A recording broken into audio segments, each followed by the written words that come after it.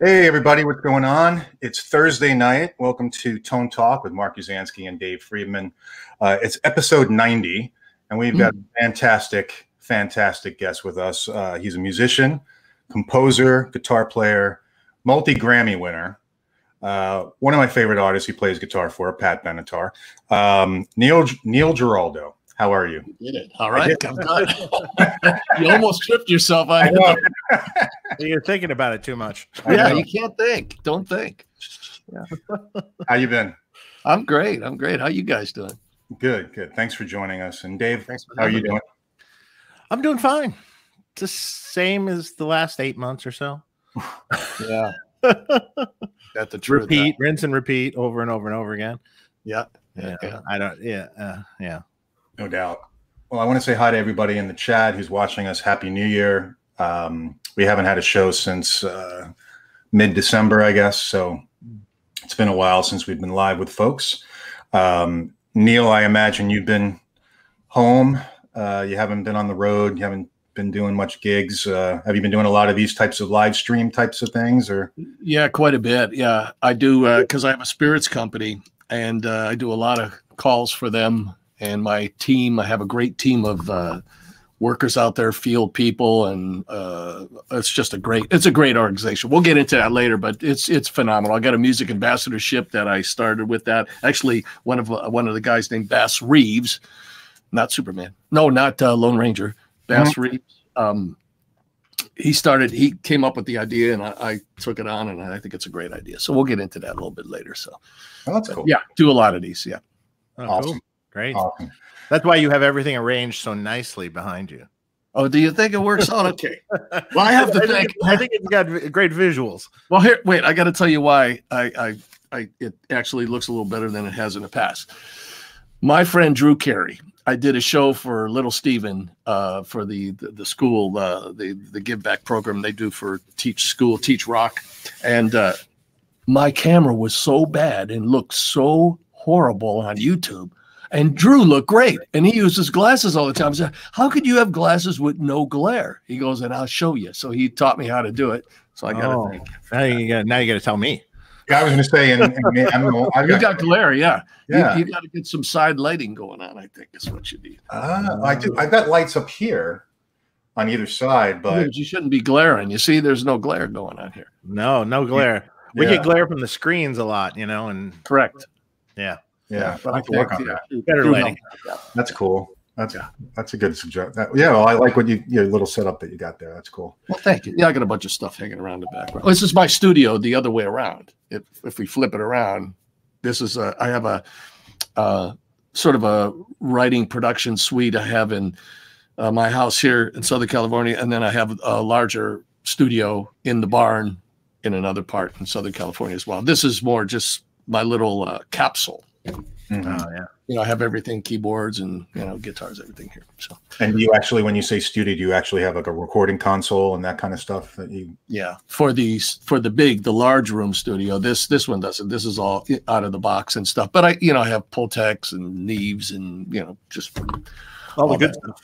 all that fun stuff. Yeah, because I I can do everything right. I can actually do everything in this little room that I can do in a big room, with the exception of live drums, obviously. So Right. Right, right. So you guys record all your own stuff then at your own studio. yeah, I've been doing that. Yeah, I've been doing that for a long time since uh, eighty. five. That wife had studio since probably eighty two. Uh, but you know, but I recorded at Capitol and MCA Whitney and you know all over the Sure. place. Uh, you know, Power Station, all kinds of places. You know, So- Sunset Sound because I'm that's where I. Sunset Sound, yeah, Sunset in Cherokee. I mean, yeah, all those rooms are great. You know, they're all great rooms. So um, you just got to capture a moment. If you got a good, uh, great environment and you, the mood is right for you, and you're just kind of in sync with what's happening in your world, you you can create that moment that lasts forever, and that's the key to making great records. Creating that moment, you know. Yeah. I think And are you still? Uh, do you stick to uh, vintage recording types of you know tape and stuff? Or are you okay with uh, digital and Pro Tools and and all that stuff? Yeah, I, I'm I'm Pro Tools. I use Logic sometimes as well. Um, I have a lot of digital rinsing going on through analog systems. You know, taking audio out of the digital world, put feeding it through analog, sending it back. Um, so I'm conscious of that. I, I do. I, I like. I like the idea of making records with big tone and not overproduce and not do too many parts in records you know not too many things going on. And the parts that you have make sure that they're big and recorded properly you know properly and they have their size and weight to them mm-hmm. so i'm conscious of, of that. Uh, my vocal chain is uh, i love and i've always used this chain so it's it's it's great. It's a 67 uh, a tube 67 uh, through a neve and a pultec that i keep off. Just let the tubes run it. So more uh-huh. tubes i try to throw as many tubes as i can on a thing you know going into it. So and it works really well. So yeah, compressors after that too, or uh, no, not really. No? I don't like too much. I have 11, 1176 LA2A that I just like to hit it just a little bit. Um, I don't usually like to put on too much compression. I, I don't because you do so much in processing afterwards. I, I kind of don't want to squeeze, squeeze. And if the mic blows up a little bit, like you know, Little Richard used to do with his, you know, with his thing, so be it. Yeah, a little distortion on a mic is good sound. So Right, right. Well, I love this whole philosophy. It's it's definitely a philosophy that I like to hear. because well, uh, you know, it's so it's so done so little these days. You know, it's a very old school philosophy that that's a really solid philosophy. Well, the thing capture the moment, capture the part, capture the thing, record it big, and mm-hmm. it's there. It's the well. The problem, the, the big problem that I see a lot of people have, and, and I I fall into the trap as well, is you know, Pro Tools is a safety net. Um, I always worked on the buddy system uh, when I recorded uh, live tracks with uh, Patricia and, and uh, Rick Springfield and Kenny Loggins, all these people that I that I did records for. Is that I like the drums and guitar to go down at the same time, mm. and that's a buddy system.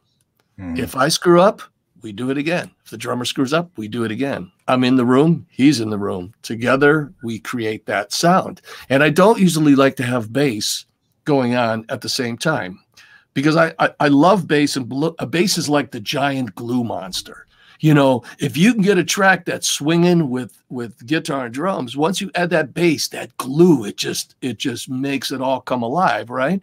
Mm-hmm. So, and then when you just do drums and guitar, you can really work inside the rhythm. And um, because I play drums and I love, I love everything that I mm, recording to me is trying to create this this beautiful rhythm of things. And I play guitar like a drummer. Mm. Uh, inside stuff. That's how I think of it. Rhythm inside, all these little inside moves. So anyway, that's what I like to do. So that's, that's great. Cool. Yeah. And when it comes to recording guitar, are you mm-hmm um, how do you, how do you do it? And is it multiple? Do you do multiple tracks, left, right, center, kind of thing, or you just, what's what are your thoughts on all that? Yeah, I, I I've been left and right for a long, long time. Um, when I joined Derringer um, in at the end of 77, 1977, uh, he had this great rack and it was left and right. And it was like, wow, this is amazing. I had an SG I had one guitar my name to my name. I had an SG, and I can't remember what I had. Maybe a little Fender amp or something. I hardly had any gear. So when I joined the band, he goes, "Well, first of all, we got to get you another guitar, and we got to get you some Marshalls." So I said, "Oh, that sounds like a good idea." So I said, "Let me try your rig." So I played through his rig, and I went, "Wow, this is amazing." But I he got back on and started playing. I said, "Wait, I, I don't sound like you. I want to sound like you." I wasn't even close to sound like him. But that started the the left and right. And I'll tell you, some guy. You, do you know uh, Kenny Schaffer from Schaffer Vega? Yeah, yeah. Okay, yeah, we know of him. Yeah, he, yeah. Oh, great guy. Uh, the wireless systems, right? Yeah, he was one of the beginnings uh, of the wireless systems for guitars and stuff. But he built a rack for Rick and myself. It was the best sounding thing I've ever heard. And I'm not a pedals guy. I don't like a lot of pedals, a lot of anything. I just like front end, a lot of front end, and maybe a delay. Uh, and that's really about it. But you know, those wireless, those receivers, mm-hmm. you know which ones I'm talking about, like the yeah. brick with mm-hmm. the transmitter. Mm-hmm. There's nothing that sounded as good as that. I mean, that was just because it also had a boost in it, right? It kind of boosted your signal. Yeah, you had to do. Uh, we used to do the thing where you play like a C sharp chord, boing, and then you you make the thing usually go to about one o'clock or so. Your transmitter, and then the receiver. If you cranked it up a little more, you had a little more distortion. Um, but it almost played itself. So, but back to the left and right. I do like left and right. I like one side a little bit more distorted than the other. And then, you know, sometimes I load them up together on one side or I keep them spread. You know, if, if there's room in the track for it. Yeah, yeah. Well, that's yeah, it's funny. So so then you obviously know about the uh the reissue of the uh the the uh Schaffer system. That I don't is around now. It, so yeah. yeah, so there's a there's a guy out there named um Oh, I do know. Sorry, he's from Dallas. Texas. Is he from uh, Texas? Well, he's Italian originally. Oh. Um, um from Italy. Uh Italy, wasn't it? Is it Italian? Yeah and he contacted Ken and they got together and you know his whole thing was that was the ACDC sound. I I, I know who you're talking of the, about. the, the Schaffer yeah. thing. And so they've right. they've did a whole line of different products based around that circuit. They have the little towers that are little re- reissues correct of it and stuff and uh, it sounds really cool especially into like a Marshall and stuff like uh, your your combos that you use and stuff. Oh uh-huh. my god, it sounds really cool.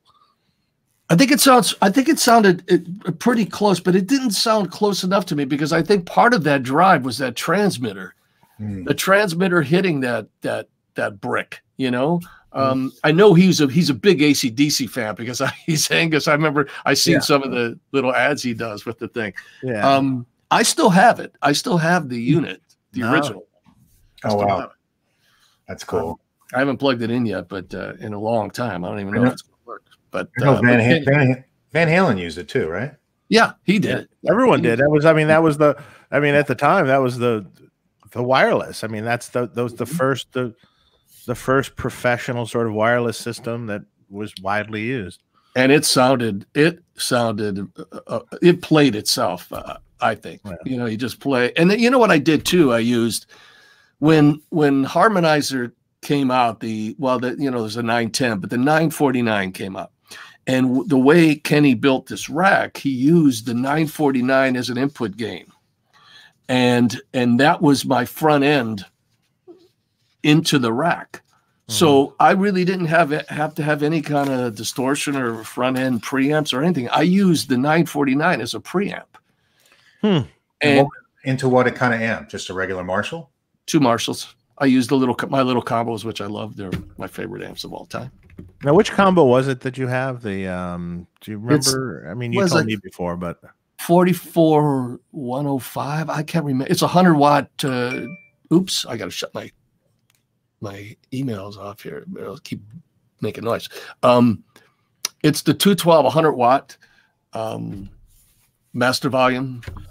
Yeah, I'm trying to 70s. I think they came out in 76. I know Jim Marshall uh, said it was a disaster. I, I, um, I was doing the US Festival, and uh, I only had I had three, and I, I thought, wow, I, I'd like to get more, you know, because you play, you know, in front of 500,000 people, you know, maybe it may look a little better too, but you know, you never know if something blows up. It's good to have another one around.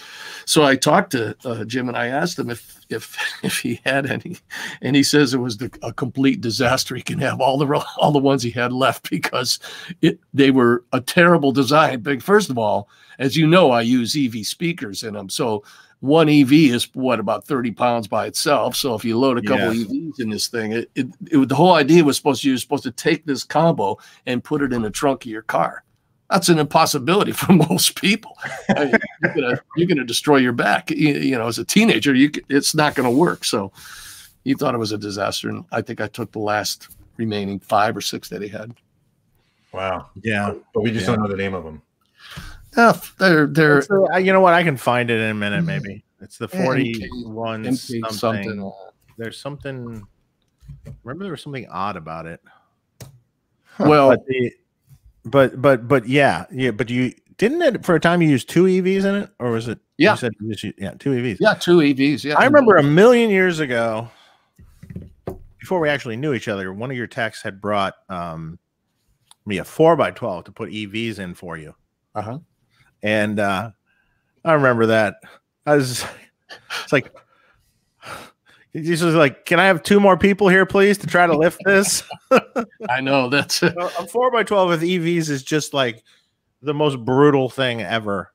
What's stupid? Yeah, it's basically yeah. It's it sounds cool. It's an ignorant cabinet, you know. So, but you it's, yeah. but uh, yeah, but that's how you that's how you got to get forearms from lifting it that thing. You know, your little workout. Um, but they, you know what happened was uh, I got them from Sam Ash in New York. I went to Manny's and I went to Sam Ash, and I have fawn. They were fawn. They were the fawn mm-hmm. color amps, right?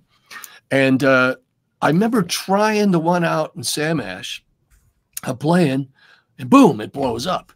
And I went, oh, geez, that's kind of weird. He goes, well, geez, I don't know. Try another one. So I tried another one and blew that one up.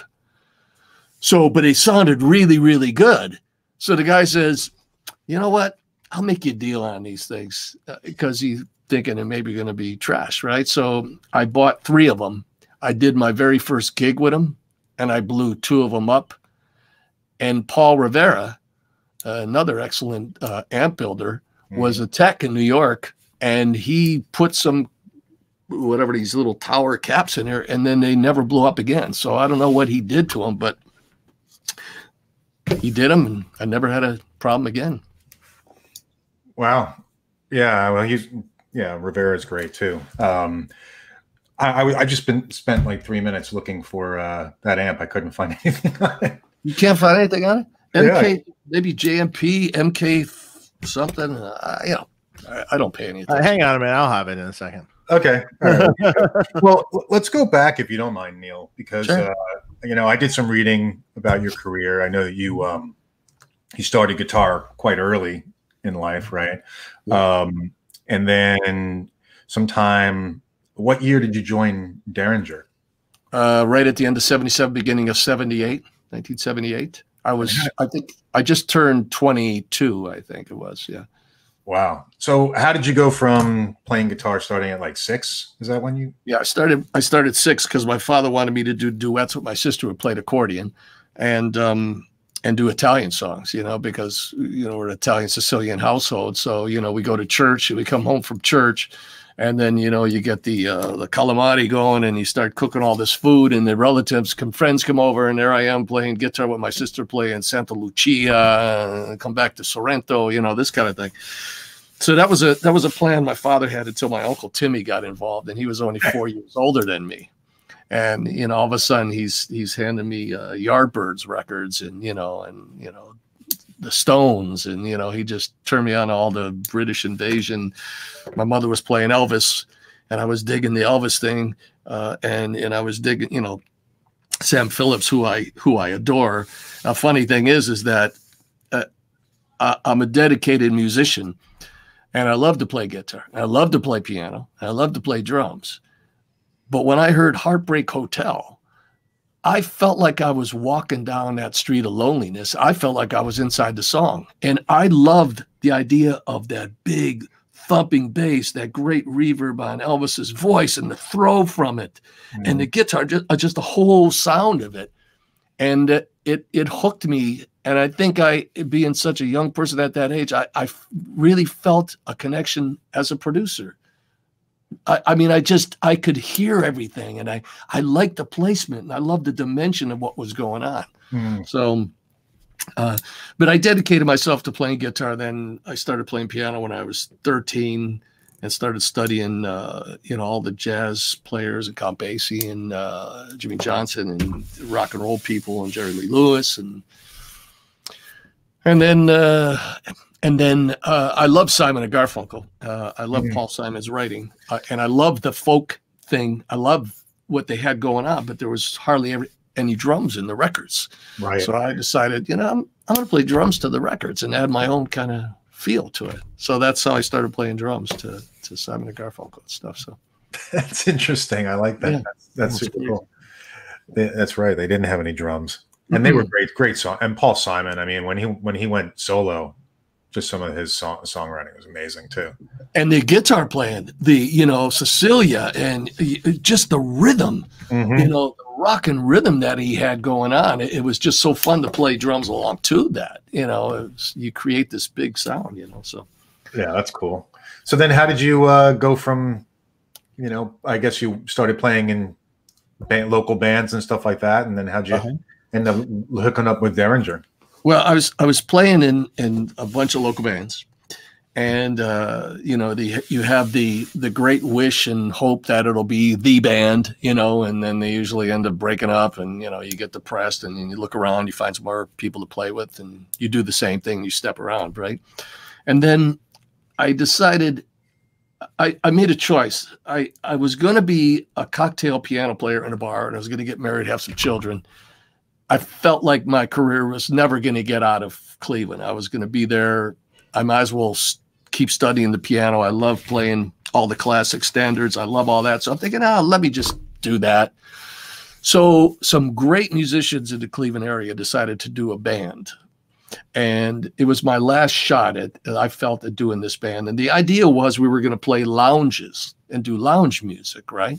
And in the daytime, write songs and work out a you know your you know your rock and roll chops and write those songs right Mhm. well we never got around to writing the songs we were playing these lounges and a guy named tracy coates who owns a pa company you might have heard of him david um, i don't know which his company The name sounds familiar. Yeah.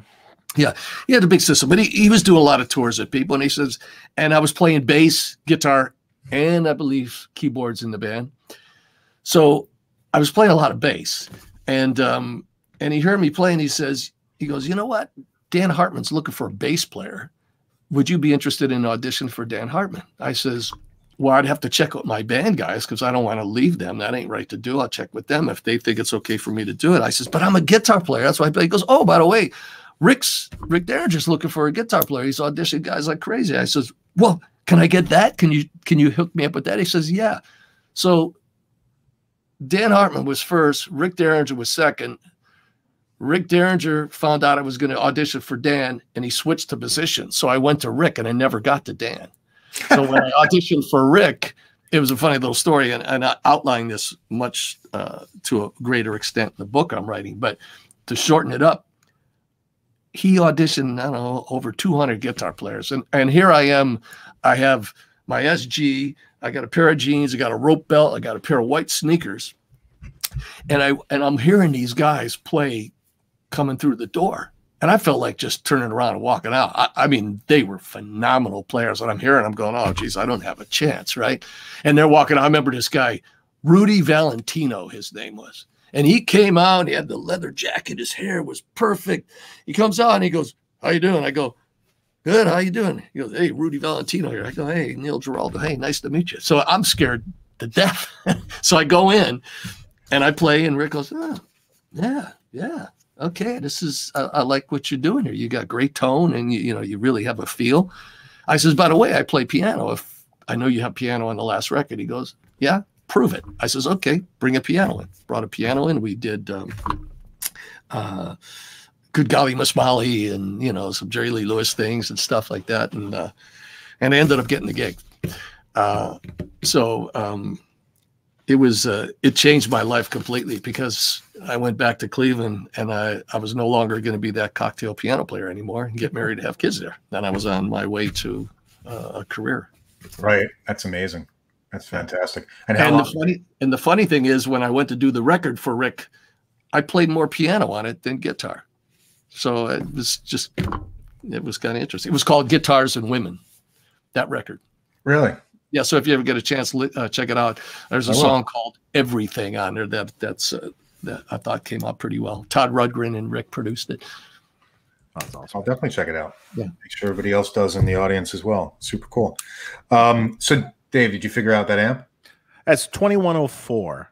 Oh, that sounds right. So what? So what? So what it was was it's a um, it's a combo that um, essentially it was the earliest version. They made heads like it too. It Correct. was the earliest version of their master volume circuit.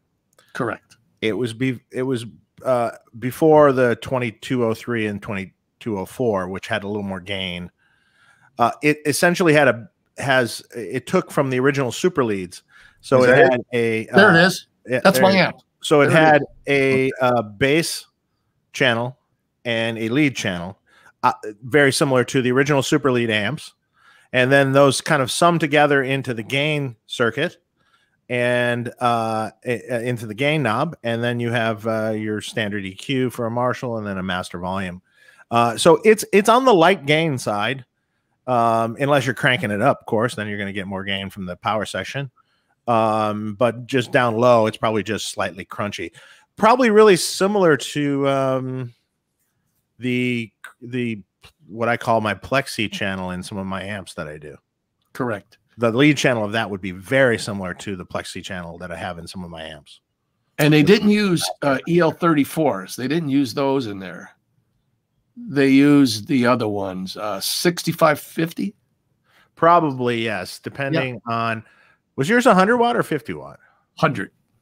Okay, yeah. So the 20 the so while the okay, this I'm looking at the 20 are we sure it was? It isn't the. Just out of curiosity, Joe Milo asks, "Are we sure it's not the forty-one forty Marshall Country no, Club amp?" It's okay. not that. It's definitely okay. not that. Uh. Uh-uh. No. No. Okay. No. It, it, it's the earliest version of the master volume, and there was a. Uh, it, it's listed. It's actually listed. Uh, if you search uh, Neil's amps, basically, you know, people people have. Uh, they documented it. Twenty one oh four. That's what it that's what it was. Sounds about right. yeah, that one might be the what. Oh, sorry, I'm just reading into it as I'm doing. That it. sounds right. That, that number. Yeah, there's right. there's a hundred watt version and a 50 watt version. I think they're numbered slightly different. So right. uh, I could be I, I might not have researched that fully, but uh, that is what it is. Right. Uh, it was you have one channel, one one input that's more bassier if you plugged into it, and the other input that's more brighter. One was just a little lower gain. I don't think it was bassier. It was just lower gain. And I never used that. I always went to the high gain one. The brighter, higher gain one. Yeah. And I always I always kept the same numbers. I part of the way I play is I don't like heavy distortion. I have a hard time playing with heavy distortion. I, I like to be able to articulate every note, and I don't really play bar chords, so I don't I don't really get uh, a lot of the all those uh, uh, harmonics and things coming from every string. I, pl- I play mostly three note chords, four note chords. I always hmm. did. Hmm. Um, I always wrap my thumb around because Johnny Guitar Watson told me I have to, and uh, and I listen to him. He told me two things. He goes, I says, I says, Mr. Watson, sir, what is I, I was 17 when I met him. I said, uh, excuse me, what does it take to become a successful musician and guitar player? He says, well, son, you got to wrap that thumb all the way around to get to all the way around it like this. I go, okay. He goes, and you got to get one of these. And he had JGW and diamonds on a ring. so he said, if you could do those two things, you can be successful. I never got it, so I'm still working. I thought you maybe you had it on the side. You put it in. The- oh no, I'm still trying. Uh, yeah, I'll never be the master. I'll just keep trying to attain for that, but never reach it. So, um, but I don't like this heavy distortion. I, I like the, there's a certain amount of cleanliness that I I have to have. I can't play when it's too distorted for some reason. Yeah, according to uh, Premier Guitar, it's the 2104 combos. That sounds about right. I think that sounds right. Um, I look at your rig rundown right here. that's it then. That's it. That's cool. Uh, so yeah, it looks like you also use some later on. We're using some JCM 900s or something. Yeah, I went to the yeah I went to the 900s, and I don't even know the reason why. I think I was doing 900s into the two the, the 212 uh, combo cabinet. Right. Um, Are you back yeah. to the combos? Yeah, I went back to the combos. I, I, I, for some reason, I mean, there's a lot of guitar players that come to the, the, gigs and they say, "You're the only guy I know that can be able to use 900s and not have them sound fizzly or something." And I, I, I don't know. I didn't use the distorted uh, channel so much. I used the cleaner side, so I, I don't know. I don't know, but I don't use them anymore. Well, you don't use yeah, but, but you don't use that much gain. You were saying so. It's it's uh you know that's a part of volume, mm-hmm. and uh just running it cleaner. It's going to sound right bigger, ballsier, and better. Mm-hmm. Yeah, you know that's that's I mean that's that's the truth of it. It's like sure. Sure. You said Jimmy Page doesn't use a lot of gain. It's it's mm it's big and bold and loud. Sure. sure. You know. Well, you know what? Uh, it's um, the, the, I have a problem. You know, my drummer, Myron Grombacher, who's one of the greatest drummers in the world, he would tell me when we would be doing gigs, he'd get done off the gig and he'd be all worked up and he'd say, Why, why do you listen to everybody else? Why can't you just listen to yourself and play? You always listen to somebody else. I go, because I'm a record producer. I listen to other people. I don't always listen to myself. But here's another thing I don't like hearing myself on stage. I always turn the cabinets backwards. You may see a cabinet facing forwards, but I'm not using that. I'm uh-huh. using the one that faces backwards. I can't hear myself that loud. I, I just can't. It mm. makes me nuts. I can't. That's interesting. Yeah. You'd rather be lower in the mix. Uh, yeah, I'd rather have it turn around backwards so I don't hear the direct sound coming at me. Right. I want it to come from another source. And I actually like the idea of a mic'd speaker going through a wedge or a side fill better than I do coming out of the amp. Mm. And I don't know why. Yeah. Gotcha. Whatever works. Yeah. yeah. One of my quirkinesses. You know, that that's that's the that's the, the most important thing. I mean, in building rigs and things for people over the years, it's like I've learned that it's it's whatever works for you is what's right. There is no right or wrong. Whatever's mm-hmm. right for you is right. Exactly. I mean, I tried. I, I, I Who knows? It's hard. It's hard for me to hear myself that loud. I just uh, drives me nuts. Yeah, that's yep. cool. Um, so then after Derringer, so then yep. I, I, I remember hearing about you doing studio work. Mm-hmm. Um, and of course, the famous stuff that you did with uh, Rick Springfield mm-hmm. uh, at Sunset Sound. So, how did you start doing some of that work? Uh, well, Rick Springfield came because I was working with Keith Olsen uh, quite a bit, and uh, and Rick says, you know, uh, I mean, Keith said, you know, I'm going to be doing a couple songs with Rick uh, maybe you want to get in this and work together. We can produce a couple songs for him, and and you play guitars, do what you do, and produce these things with me, and we'll do it. So, Rick had a couple songs. I had a song called uh, "I've Done Everything for You, You've Done Nothing for Me" by Sammy Hagar, and I had that song all the way back when I was with Rick, and um, and I brought it to I brought it to Rick Springfield. Keith at the same time brought it to him too, and I says, "Why don't we do that song?" And let me work on Jessie's Girl for you because it it was it was too stiff. His demo, he had a great song there, but it was too stiff. He didn't really have a, a middle eight. A bridge wasn't going anywhere. Um, it just didn't have a swing to it. So um, I just made it swing a little bit more, and that's that's how we grabbed that one um, to make that work out. But um, and then it, was just um, it's you know there was no internet back there so it was all word of mouth you know. I, am walking down the street i run into stephen bishop. Stephen bishop says hey why don't you come in the studio? Let's work on let's do a couple songs. Okay i go in the studio work with steve bishop for a while. You know kenny loggins calls me up and say hey kenny you know neil come on why don't we do some stuff you know? Let's let's record. You know just, just bounced around. Right just being at the right place right time. Just bouncing around you know and and uh you know doing what i do so and were you using those combos even back then on those types of recordings? Oh yeah, yeah. I always used I always used the combos uh, for for everything. I I just used the, the my standard thing, and I took it everywhere I went. And that was just Marshall combo with. Uh, I, when I was dragging the rack around, I was doing that. But when I wasn't doing that, I was just doing a little um, um, preamp and a delay, and that was it. So, wow, that's cool. Well, those are legendary solos legendary guitar work, in my well, opinion. Thank you. thank absolutely.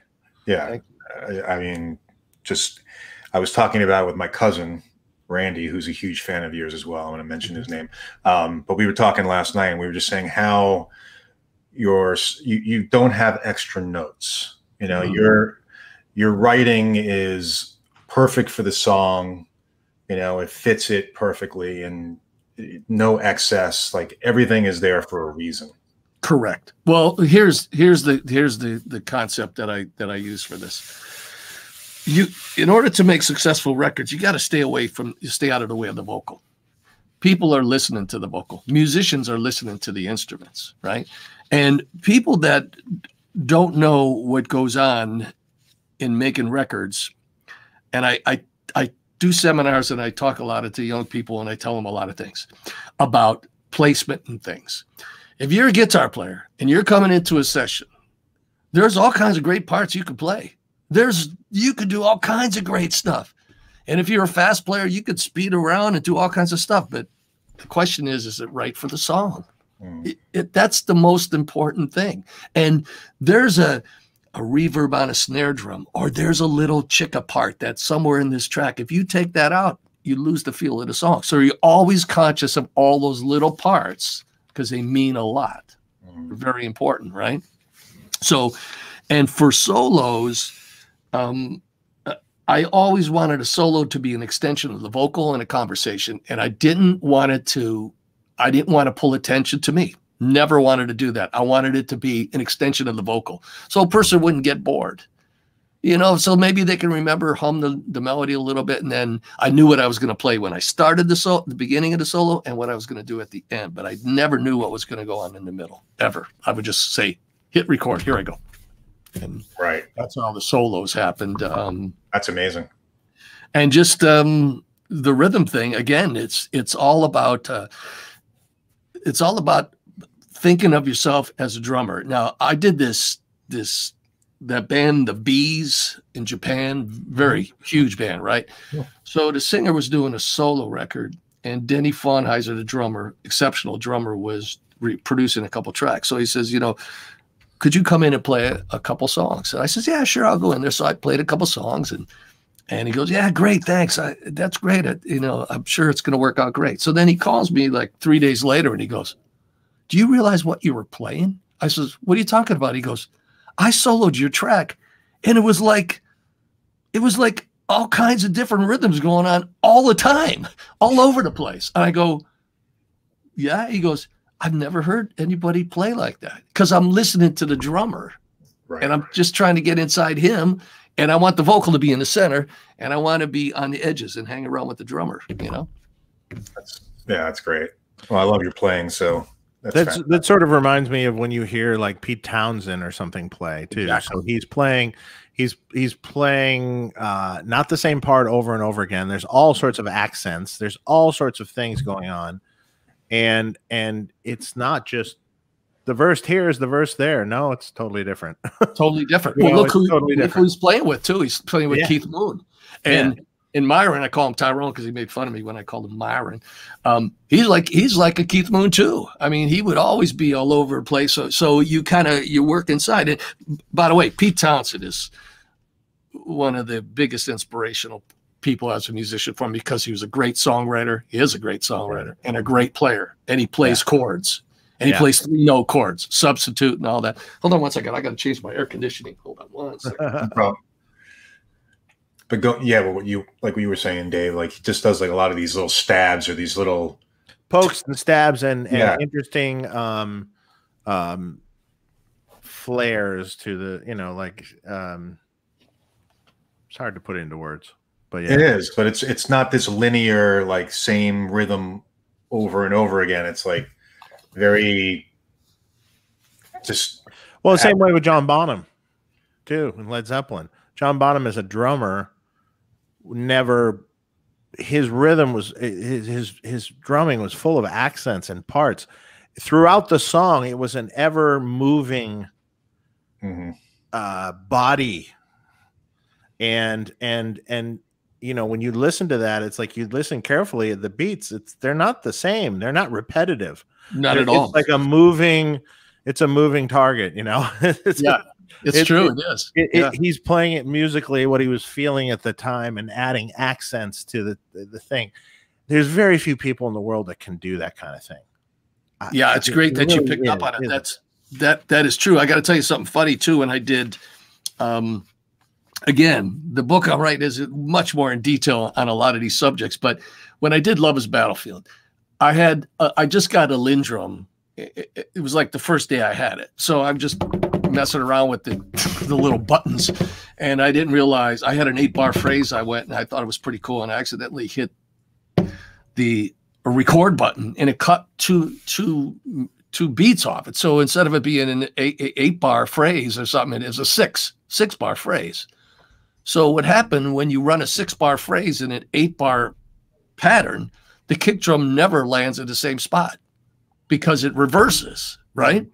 So, so when I did it and I had this whole program and I, I told Myron, I says, I just want you to play top kit. I want you to play hi hat and snare, and I want the kick drum and the toms and all the other activity going on to be static. I, I want you static, and I want everything else around you. He goes, can't do it. Kick drum patterns moving all over the place. I go, I know. I know. I says, but it feels right.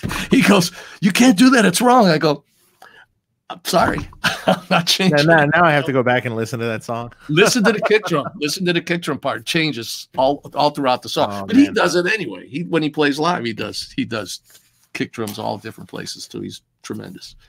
So yeah, great. Yeah. Yeah, I still remember. I still remember all those. Um, well, okay. So anyway, we're, let's let's let's not go into there. So so after Derringer and after you're doing these sessions and stuff, so how did Pat Benatar come into being? So what happened with that? I was I was finishing up the record with Rick, and um, there was a couple of projects that were presented to me, and um, record company called and says, you know, we just signed this girl to a record deal and they uh, were looking for somebody like you. And we heard you'd be perfect because you're, you know, songwriter. You play multiple instruments. Your, you know, your song uh, structure is is important to you. You're not just a, you know, a dweedler. You know, that's not what you do, right? So, would you be interested in meeting this person? I says, uh, sure. I says, but if, but I says, I'm going to Cleveland. I'm going home I just finished the record with Rick. I'm going home now for a little while and come back to New York. He says, Well, listen, if it doesn't work out, I'll get you a ticket the next day back to Cleveland. But if it works out, I'm not going to let you leave. I'll put you in a hotel and then you can put the band together and do everything you need to do. Right. So I went there and I, I met Patricia and uh, I sat down at the piano. I started playing some stuff there. I says, "What is it that you're going for?" He says, "I want a band. You know, I want a I want a real band. Uh, I want I want the you know the Mick and Keith and you know Jimmy Page, Robert Plant. I want that kind of activity going on. But she she didn't come from a rock and roll background. This is the thing that you got to understand. It was all theater and uh, show tunes and cabaret. It was not a rock thing at all. Meanwhile, I saw I was immersed in all the blues and rock, and that's all I did. You know, I was, you know, but I did jazz too. I, I loved, you know, Bill Evans, and you know, forget about that piano stuff. I go deep on that. I love that. But but but that's what you know. She was talking. I says, well, that's great. So you mean you want to put a band together? she says, yeah. So we got along great. Uh, the record company guy says, well, you guys are getting along great. Here you go it's all yours. So then I went and picked out a drummer, got another guitar player because he had cool looking hair, uh, bass player, and and then uh, we started working on songs, and, and the rest is history. Yeah. Oh, did we lose Mark? Oh, you guys, can you hear me yeah, now? Now we got I you. Can, you know, yeah. Oh, I'm sorry. Yeah, sorry. I did something and muted myself and then didn't want to make noise when you were talking. sorry. Problem. It's one of those days. Technical difficulties. Yeah. The whole world is full of these right now. Yeah. Every day there's technical difficulties on people zooming and everything else online. Everywhere uh, in the world. Yeah. Brutal. So uh, I mean, you know, you can only imagine how many. Yeah, I'm sorry about that. Um, no problem. So yeah, so that's that's fantastic about what was a perfect it was a perfect it was a perfect moment because I really wanted to start something brand new. Uh, I love playing with Rick, and it was an honor to play with him. To me, he's one of the greatest guitar players in the world, and I thank him every day for for having me join that band. Without joining that band, I would have never been anywhere. I would have never gone anywhere. I learned so much from him, good and bad. I learned bad stuff too, and I learned most of it was good. I learned that you can't really suck when you're playing, and you have to make sure you play your ass off every time you pick up the instrument. Right. Like the first gig I did with him after the show, he came back to me goes, What are you doing? You sound like shit. I, I hired you because you're a great player. You sounded awful. I says, Rick, I was just playing in front of 150 people about two weeks ago. Now I'm playing in front of thousands. Give me a day and I never did it again. Never yeah. did it. I made sure I had to be yeah. right yeah. on it, right? But it was a perfect opportunity because all I was looking for, all I wanted was a great singer. If I can get a great singer and I can write songs and create this sound and start from something from the very beginning, that's all I wanted. I didn't realize it would be a female, but it didn't matter to me. I, I really didn't care. I just wanted a great singer. And I was going to ask you, did was it a? Did you have any trepidation of, you know, having a band with a female lead singer? Not at all. At a, at a time at that, you know, when it was all dominated by male. Yeah. Dominated Not at all. I never thought. I never thought twice about it. Never. That's awesome. Yeah. yeah i didn't care and, and i and i'd fight for anybody that would would uh, you know say anything bad or or do anything disrespectful you know i have a lot of sicilian roots in me i'm not a violent guy and i'm not an angry guy and i'm not a tough guy i'm But the you're biggest wimp, but i'm the biggest wimp you're going to find but i got to tell you don't get me there because i can put a hand through concrete if i need to so i you know i i was there to protect and i did and i was happy to do that you know I'm Um, sure she but- appreciated that too. So, yeah, yeah, she did. Everybody around all kind of worked together, and we worked as a team. We were we were more of a band than most bands. That's why it's it's always funny when people think of it as a certain thing. It was really never, it's never, never was that. So, But did it feel like for you guys that it took off really fast with, Mhm. with hits? Yeah. Um, Big fast, or- right? right? Because it wasn't like you were when when in you know we're struggling for a while with Pat. Right. Well, right. well, here's what happened. What happened was Mike Chapman was was hired to produce the record. Mike Chapman produced Rick Derringer's record before the one I did. So he Mike Chapman saw me play with Rick live doing live shows, right? So and follow me through on this.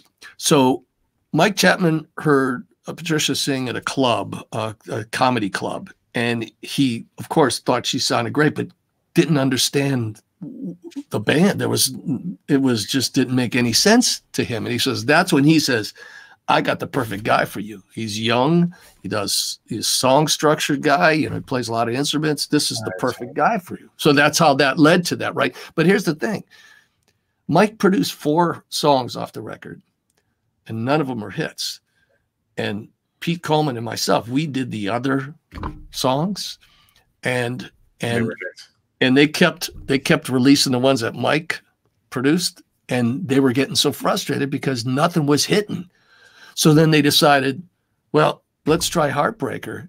Uh, but you remember it was heavy disco at that time, and people wouldn't play it because they thought there was too much guitar on the record. Right. And then a Seattle in Portland up in the Northwest decided to to play it around the clock, and that's how it started. And uh, then it became a hit, and that's how we that's how we really we were we were close to like, well, what are you going to do next? We keep releasing these songs and nothing goes. So, but that one did, and that was the beginning. That was it. Yeah. And then MTV. hmm And Yeah, someone someone posted here in the chat. Uh, Neil was the first guitar. Pl- I, I'm sorry, I can't find it right now, but Yeah. uh, Neil was the first guitar player on MTV. Well, So- yeah, and, and Scott was in the band as well. He played guitar too. Um, yes. Well, what what happened was, it was "Video Killed the Radio Star" was the first song, and there was no guitar player in the band. So Right. that then I we were next. What you better run, and there's the guitar, and it. But I just remember it being 16 hours long, and I had this beautiful. My hair was fantastic. I James Dean going. I was looking all real good.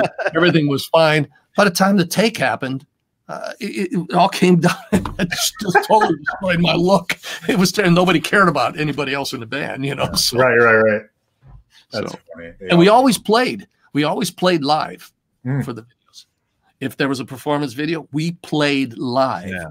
We used the track, but we were actually playing. So right.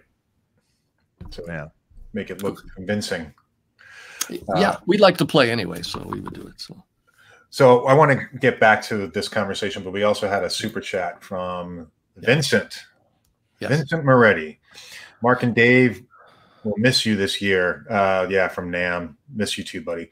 Uh, Neil, can you talk about how the business of music has changed and how a musician who worked with another musician got paid? Were royalties shared? How did it work back then? Okay. Well, the way it worked back then was not so good. Um, uh, hmm, the only thing that was good about it is when records were sold, there was a, you know, there was an income stream from records being sold. But I give you an example. Uh, when I wrote the song "We Live for Love," which was the second single off the first record, "In the Heat of the Night," I met with the publishing company, and they said they would give me five hundred dollars, I believe it was, for the song. Five hundred dollars for the song, and and I can keep some of the publishing, but five hundred dollars. And I, I had the meeting with him, and I scratched my head, and I'm thinking, five hundred dollars is that all you get for a song? I said, Wait, this doesn't make any sense. Well, he says, you'll never get another, you'll never write another song. Nothing will ever happen. I go, I think let me work on this a little bit. Well, next thing I knew, I got a, a deal for 10 grand and, uh, and advanced money and everything else. So, so the idea of, of, of sharing in things, you know, here's the problem with the music business. When you're a musician, you only care about making music, right? That's all you care about. You're going to go in a studio, you want to be successful, you want to be on stage, you want to play for thousands, you want to make records, right? But there's a reason they use the word business at the end of the music business because there's a business part of music that you need to understand.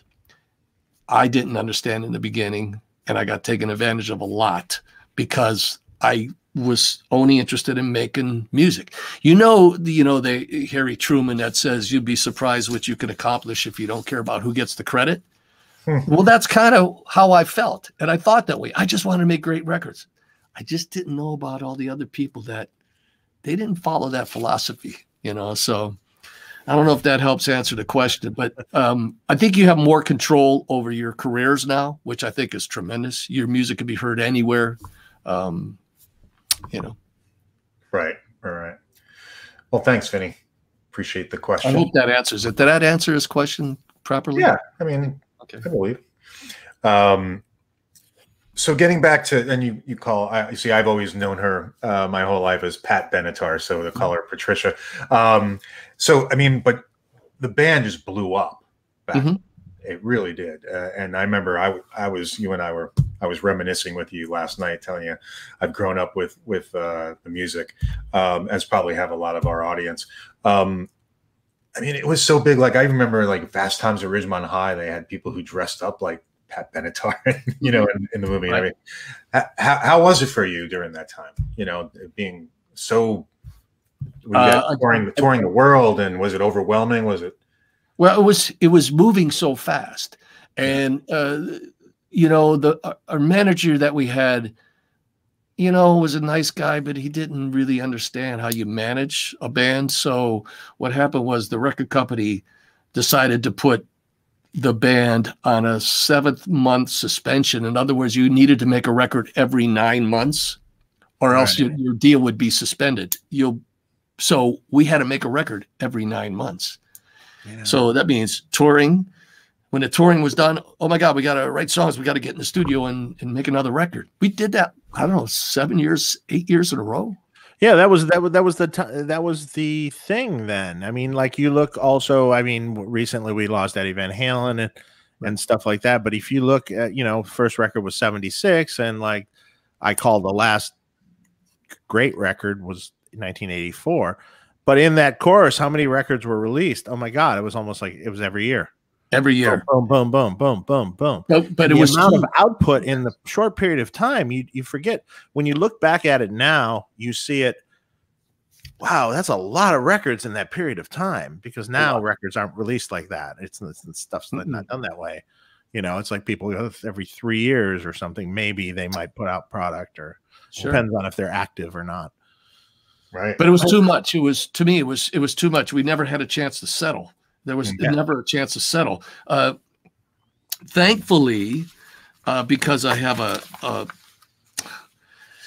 uh, oh, I don't know what the, how to explain this is. Um, I get bored quick, and so so what would happen is I would make this record, and you know, it, it, if you're talking about details, from the minute we walked through the studio till the time that record's done. I I knew where every second of every note lived throughout the whole thing. I was I was involved in engineering to every part of it. I I wanted to shape this thing to have a certain sound to it, and I paid a lot of attention to it. And I worked around the clock on this. But after that record was handed in, I would write a song the next day and send it to the record company and say, "This is what I'm thinking about next."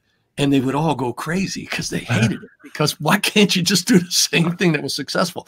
So if you listen back to the catalog of songs, you'll need you'll see how different so many of them are that's because I was I I did it. I did that record. Well, that's enough. Now I'm going to try doing something different. I did a, a record we called Gravity's Rainbow, and I decided that I wouldn't use a I wouldn't I didn't use a guitar tuner. So we're micro tuning. So if somebody's going to try to play along with it, it's not perfectly in tune. So right. and I don't know why I did it. I wanted it to be all live, and um, like well, most of them were live anyway. Oh, it sounds but, good though. Sounds cool it's fun. I mean, you know, just different. I mean, uh, you know, and then I, after we did that noisy, you know, electric guitars, ah, let's do a whole acoustic record. Let's get a fiddle player. Let's get a, a viola player in here. Let's do all acoustic. And then I decided to do an acoustic guitar plugged into a Leslie and, uh, you know, different kind of stuff. Just always trying to change it up. You know? Right. Well, I, I always look at that kind of stuff as very old school. I mean, all all those all the great bands that we know and come to love, you know, like the the the Who and the and and Led Zeppelin and things mm-hmm. like this, they experimented from record to record. They sure experimented did. with their sound. It's like, hey, you know, you look at Led Zeppelin, you look at you know, Presence or or different records, and you know, it's it's different. Some are more acoustic based, some are yeah, not. Some you are compare Zeppelin one to Zeppelin three is so different. Yeah. Correct. Yeah. yeah and I noticed that too. And I love that. And I think that's cool, but you know, the business of music. Oh yeah. The the the label wants the same thing. Let repeat, rinse and repeat again. Yep. Rinse and repeat again. But the but the fact of the matter is is is at least I remember as a kid listening to these things. I wanted to hear what they were doing next. I wanted to hear the experimentation that they were trying to do and, and what it was. Maybe I didn't like it. Maybe, maybe, maybe I did like it. But I enjoyed the fact that it was different. Because mm-hmm. if you make the same record over and over and over again, after a while, you're bored. Yeah. It's like, I, I don't even care to hear this anymore. I mean, of course. And, and see, I noticed that too. I noticed Led Zeppelin 3 was was more acoustic, and I love that. Me too. I loved when ZZ Top did Tejas. Mm-hmm. You know, uh, it was all DI guitar. There's like plugged into the board. I, I mean, I, I thought that was great. You know, it, it, the thing is, is that I I think that, and this is the reason I love Jack White so much is is that you you have to be you have to be brave and you have to be disruptive if you want to have a career. Excellent. You know, it's very it's very important. I can't tell you how many songs I handed into the record company that they refused to release and they ended up being big hits. I can just if you if you know what they are, they were they were refused. They they wouldn't do it. They says you need to do it again. You have to re-record this. I, it's what are you thinking about? I says I'm not. I'm not going to. I'm not. So and and you you have to take chances and you have to be disruptive in a positive way and you have to be brave and not be afraid you cannot have fear and the thing with pro tools the thing that's you shouldn't be looking at music you should be hearing music. You should shut that screen down. Don't watch the little colors and don't watch the little things. Close that screen down. Listen to what you're doing and and and trust your instinct and, and forget about the net the safety net. Record like you have no safety net. Yeah. You know, that's how yeah. i i still feel you know I, I, that's a great philosophy and i i totally agree with everything on that you know i I totally and I also love Jack White, but um, because he does that, he experiments. He All the does time. different bands. He does different things, and mm-hmm. yeah, it's like, who says I can't put this one string guitar through a fuzz pedal into a yeah whatever you want to do. do an accordion amp, you know, whatever. Of course, of course. I'm just making it up, but yeah, um, yeah, he he's a brilliant artist, and and I think um I don't know if he gets enough credit actually for that. Yeah, I don't know. I I just I remember, you know, I I I just I love him because he's he just I love everything he, he the way he structures his musical world and and one of my one of the things I thought was super great was Ted Nugent wrote a a thing about him and says you know he should really practice more because he sounds bad or whatever like this so instead of instead of Jack White burying that review he puts it on the front of his website because yeah. he just because he, he makes a mockery of of that comment. Uh-huh. Now that's a real ballsy thing to do. I, yeah, he's got balls. He yeah, got balls. You, you, gotta love the guy. You know, you know I mean, I'm, I'm originally from Detroit, and um, there you go. yeah, so I appreciate that, but you know, I also appreciate the fact that you know he has he has his uh, record pressing plant and everything, and I, I went to actually tour it when I was there uh, not too long ago, oh, yeah. and and and to see the operation that he's made, and to do this pressing plant and to do this in such a unique way with a great mastering engineers there and and it's cool it's great he's giving back with that you know he's he's giving that. back because yes he is you know you can get you know you're if you're a, a small band or something you can get your stuff you know printed if you're a large band you can just stuff it. if you want purple vinyl you can have purple vinyl if you want correct weird stuff you can have it but but he's really put a lot of time and a lot of money he did. Well, he he's making this. He did a great job of of creating that business. Remember, I, we were talking about music business. Yeah. He actually is super creative and able to walk, take a step back, and and be a businessman too. I mean, that's you know that's that's really hard. That's really difficult to do, and he's done it. You know, speak. Yeah. You spoke of a give back. I have to mention this because I have a spirits company. It's called uh, Steel Bending Spirits and we have a, a bunch of products, SKUs. We got three chord bourbon, we have a rye, we got a Pinot barrel uh, bourbon as well, quite a bit. But we started a music ambassadorship program uh, mm-hmm. when COVID hit. We were doing tip jars for players so they can go online and play. Uh, we would when before COVID, we were doing um, uh, paying for the band to go play places, you know, paying their salary because the band, the, the clubs wouldn't allow them to do it. Yeah. And, you know, and, and I'm available to anyone. If they have a question, I can answer a question. I can help them. If they have a song that they're working on is, you know, so there's a, a, a give back program to it.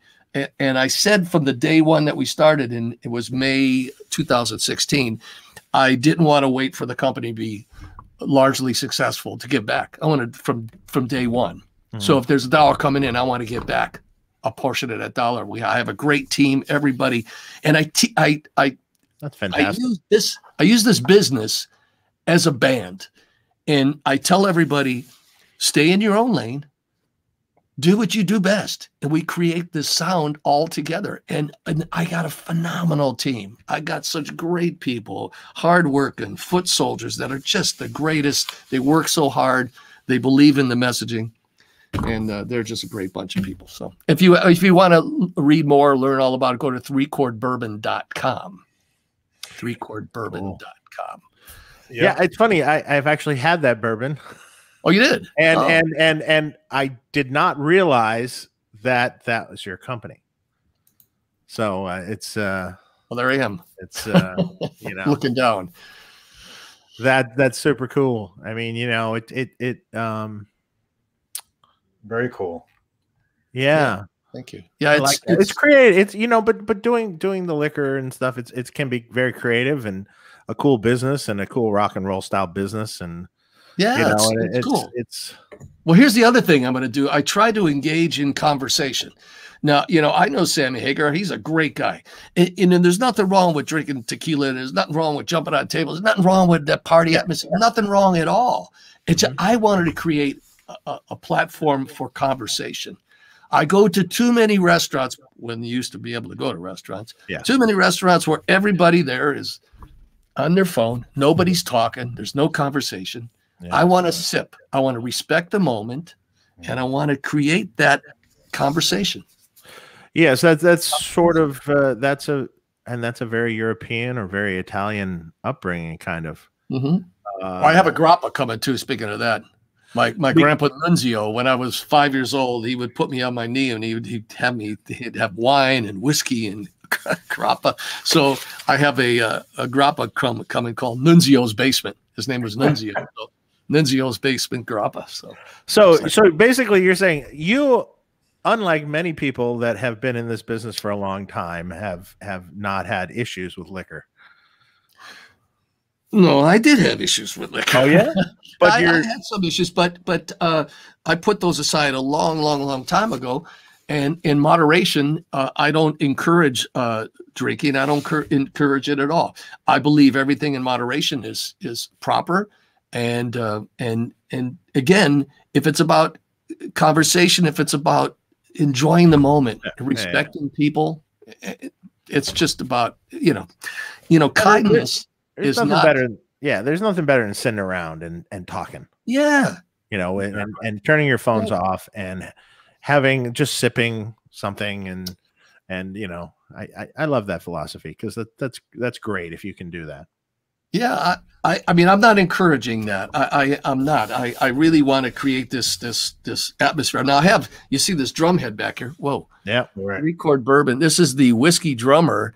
Um, I had I I can't believe I got that name, a trademark. So what I'm doing with whiskey drummer, I'm getting all of my favorite drummers and all the great drummers. I have them autograph it, and then I'm going to auction it off, hundred percent, hundred percent to charity. And I hope to get all the great drummers, and I have a bunch of these heads that I thank my guitar czar Rob Cunningham, because Rob was the one that told me I should do your show. I didn't. Yeah, I didn't, yeah, yep, yep. So he's my guitar czar. I've known so, Rob for years. Uh, uh-huh. I remember doing stuff for him like 20 years ago. You know, he's a great like, guy. Every so often he pops up on the radar, and and yeah, and he said, "Yeah, you want do you want Neil on the show?" And I go, "Well, yes, of course I do. Why not? Uh, you know, I I think I still have your number. I probably could have. I you probably, probably reached out yourself, uh, you myself. But um, uh, you know, sometimes I just don't think. You know, the funny thing about the show is like me booking people. It's like sometimes I just like don't think like, oh yeah, we could do. Oh yeah, that person. That's a good idea. Yeah, let's try to get in touch with them. Um, you know, that would be a good idea. You know, this show was started as just shoot the shit. It's it's exactly sure. what you're sort of talking about, having conversation, but having it online. And sometimes we have a drink while we're doing it, you know, or whatever. Sure. And and uh and occasionally that went out that kind of went off the rails, but right. that, that, could get bad. Yeah. It, it, you know, but you know, those are beloved shows. Although sure. it's a train wreck to me, I can't look at it now. But, um, um, but yeah, that's good. yeah, it's the same thing. It's a shoot the shit show, and we yeah. talk about wherever it takes us. Of course, which I like because, especially with a, a guest like yourself, that is um, talkative and can speak about his career and and and his life. Uh, it makes it so easy. Well, you guys do. I mean, it just, just flows. Like it flows. Talk in conversation. Listen, we're talking about drums. Yeah, right? it's kind of crazy. I see a bunch of guitars in the background. I got drum heads. I got ukuleles, lap steels. I got sticks. I got all kinds of stuff going on. Yeah. But, but I'm excited about the drum head because they he did a great job. Check this. Yeah, looks out. great. Yeah, it does look good. You know, Rob is tremendous. So he had Evans do you know, the heads with the, you know, the old calfskin style heads. Right. So, yeah. And then um, that's a little logo. This is yeah, that's excellent. Right there. Yeah. So you get all these great drummers to sign it. I got quite a few of these heads, so I'm 100 percent to the to the charity. 100 percent volunteer driven nonprofits it goes to. That's great. Yeah, right. And I'm Ooh. sure you, you know plenty of drummers. I know a lot of drummers. Yeah, I got drummers and guitar players actually. Yeah. Yeah, yeah, yeah. So, uh, we, have got a few uh, super chats, and then uh, I want to sure. get back to a few other things.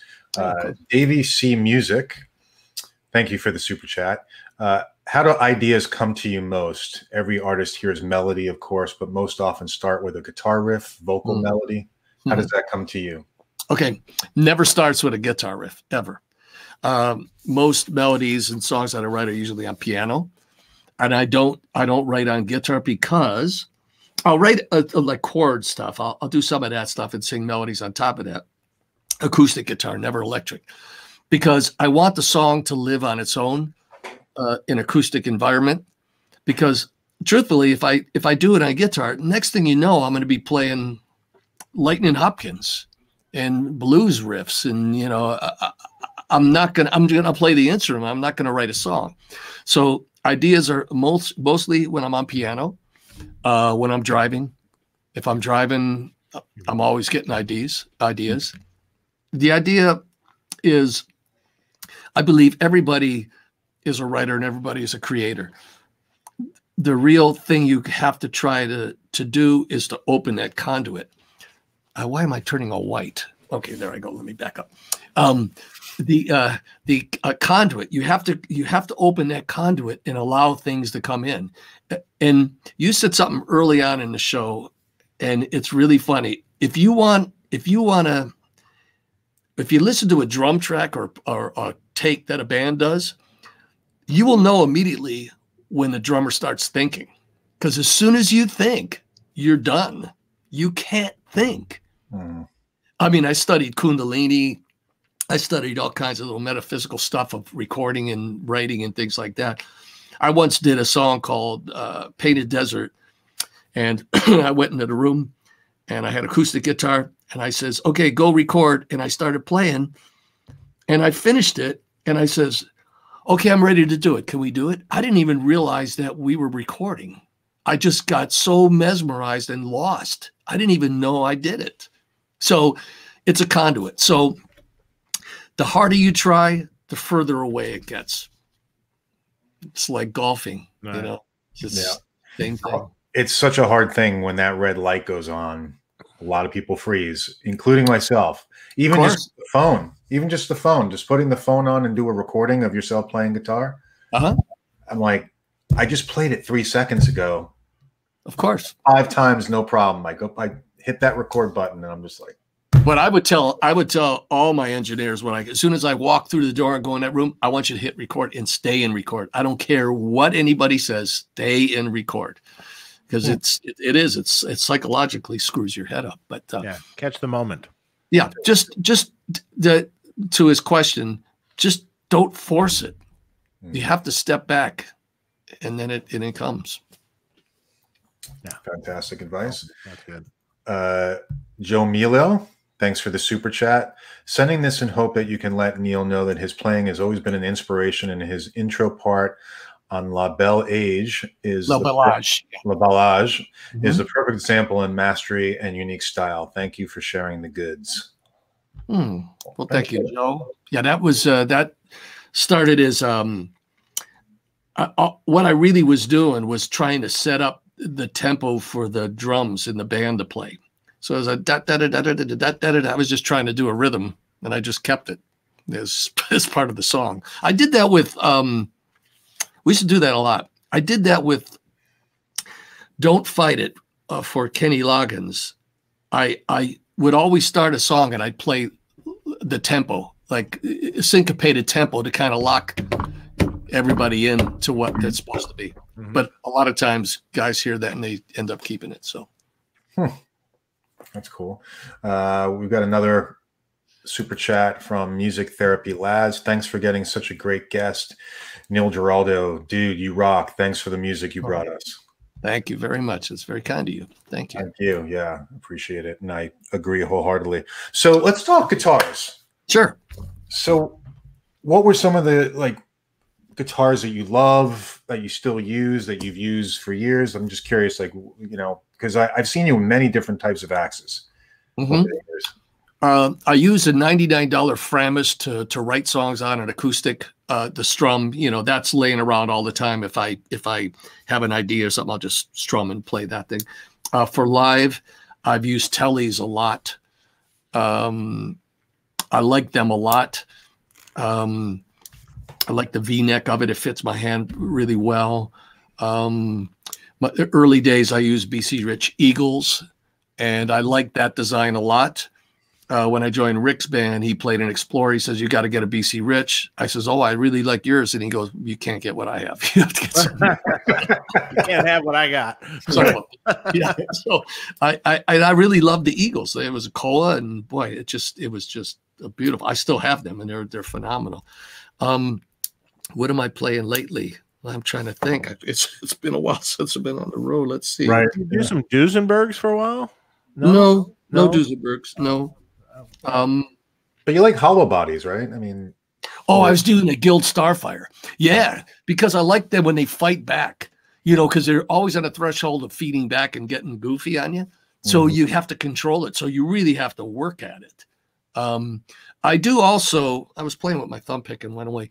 Um, uh, I I use really heavy strings. I don't use heavy strings anymore uh, because my grip and the way I play is very intense, like heavy. I, I don't play soft, and my hands aren't really relaxed. They're very tight.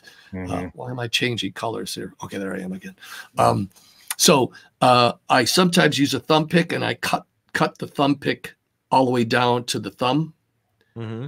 So so I just get a little bit of that pick, and I'm able to use all my fingers like that, so I can dig in and pull up because I pull up on a string. So uh, anybody listening, if they're using heavy strings and they're young, enjoy that. As you get older, it's going to be an issue. I mean, because I really screwed up my thumb. I used to use 12s and 13s. I would use the 60, 13 to 60. Oh that was insane. It was E flat, but it's still 13 to 60. Yeah. And now your hands just don't. Yeah. Well, my thumb, you won't be able to see Yeah. it, but uh, you know, my thumb's got a giant lump on it because Oh. I, I abused it for so many years because I can't play soft and easy, you know. right. So now what do you- in. Oh shit, this is my I can't do this. That's my granddaughter. Well, we'll, we'll wrap it up in uh, just about She's 15 sweet. minutes with you. Sure. Um, so uh, no, that's great. Yeah. Um, as far as heavy strings, so you using you're using much lighter strings now. Much lighter. And you know what I'm using now? I'm using uh Les Pauls because of the shorter scale. Uh-huh. it's easier to bend. So so I'm using more of them. I have a gold top, uh, a couple gold tops here. I love P90s, but they're not always happy with the lighting rigs and on the road. Oh yeah, right. Know, they sound the best. My favorite pickup, but they're they're not happy. Should look into uh, Lindy Fralin hum canceling P90s. They're, they're super cool sounding. Super. Are they cool? They're well, they're as good as it'll get for hum canceling P90. It's it Okay. sounds good. It sounds good. Okay, I'll check You that know, out because I do like pickups, yeah. Yeah. Call Lindy directly and at, at his shop, and he'll. Uh, I'm sure he'll I'll hook you up. up. Okay, that'd be cool. You know, it's a funny story. Speaking of that, pickups. Uh, Seymour Duncan, when he used to wind them in his garage, you know, and Mhm. years and years and years ago, he, uh, I asked him to build me some pickups for my Strat early, early on. So, so he, so he makes these pickups. I get them. They're phenomenal. And, and the back pickup was sensational. So they're great. So he calls me up and he says, he goes, How do you like the pickups? I said, I love them. They're great. He goes, Well, I got some good news and some bad news. I go, Oh, no, not good news, bad news. He goes, Well, the the bad news is you got Jeff Beck's pickups and he got yours. I went, Oh no. He goes, The good news, he loves yours. he don't want to return and you love his. And I love his, so I didn't return him either. Yeah, it was a good. Oh, good that's story. awesome. That's a great story. Was that a rewind that that uh, or he just built them? He just built them from scratch. I told him what I wanted, and because I was playing strats, and I I didn't want the heavy, uh, distorted sound. You know, I didn't want it to be a ra- you know like a uh, stacked. I I just wanted really nice mid range, and uh, I I have a lot of low end in my hands, so I don't use a lot of low end on my amp ever. Um, in fact, uh, Timmy Pierce, who a great guitar player, really dedicated guitar player too.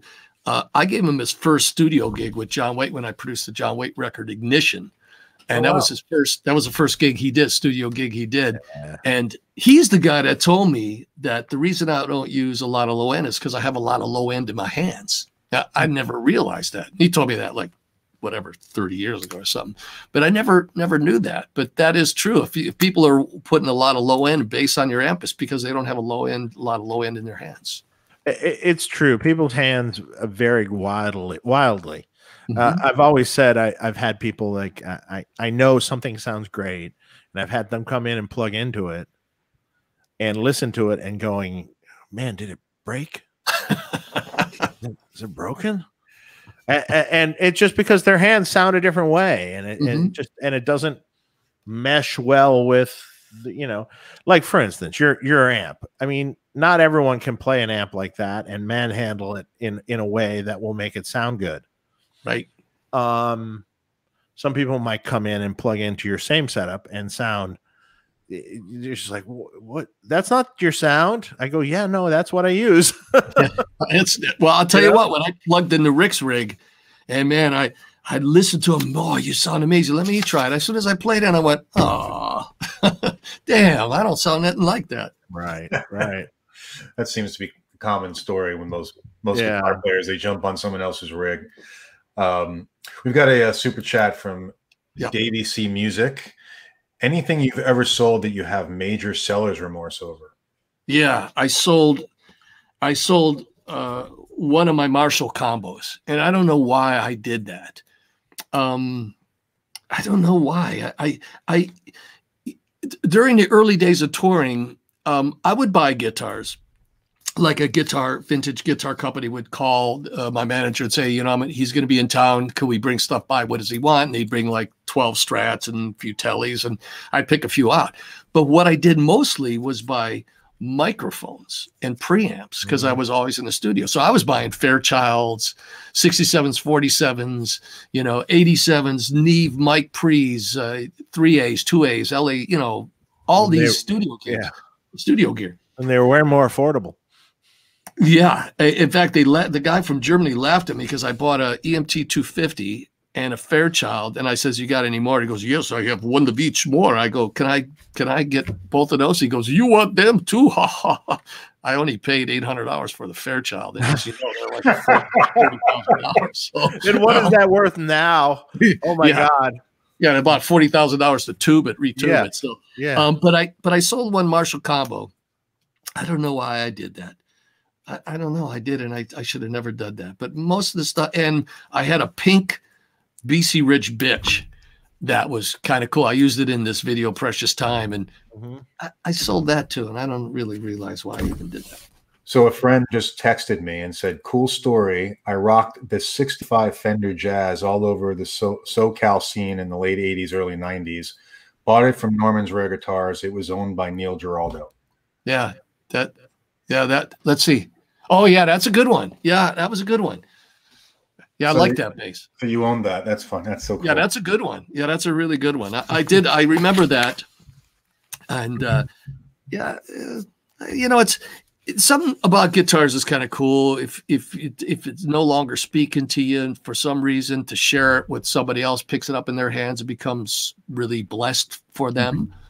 There's something really good about that. You know, there's there's a real good chi. You know. I agree with that. You know what? I don't know if anybody else has experienced this, but on Reverb, I've, when I've sold guitars, mm-hmm. you know, like I, I make sure, you know, message the person, tell them, you know, a little bit about the guitar. If, if I want, I'll do a little video, just show them the, how the guitar sounds or whatever. And then sure. I want to make sure that they're happy with the guitar afterward and that, that they like it. And most of the time people message me back and be like, oh, love the guitar. And it makes me feel good. You know, like I'm like, okay, I, I didn't bond with it, but at least you like it. You know, at least I, you're into it.